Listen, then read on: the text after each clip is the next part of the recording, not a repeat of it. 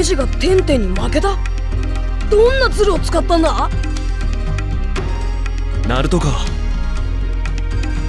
ちょっと人聞きの悪いこと言わないでよね。私はズルなんかしてないわよ。ちゃんと回避修行でネジに勝ったんだから。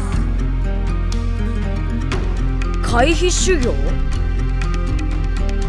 敵の攻撃を回避して無駄な戦闘を避けるための修行よテンテンなぜそこまで回避がうまい？要はリングの使い方次第よ。リングか。確かにテンテンは使い方が群を抜いてうまいからな。でもさでもさそれなら俺でも簡単にクリアできそうだってばよ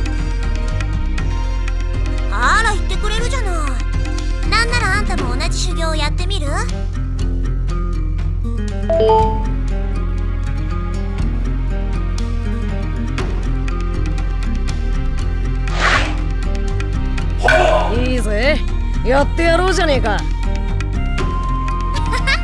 面白いわね。それじゃあ早速始めましょう。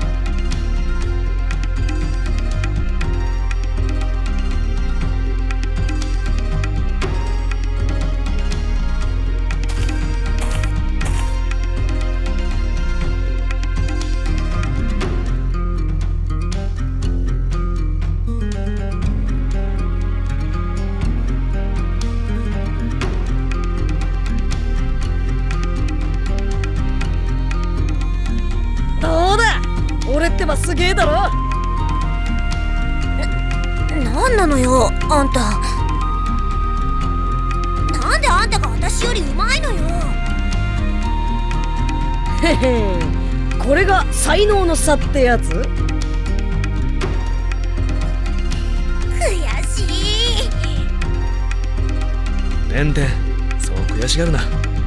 今のままでも十分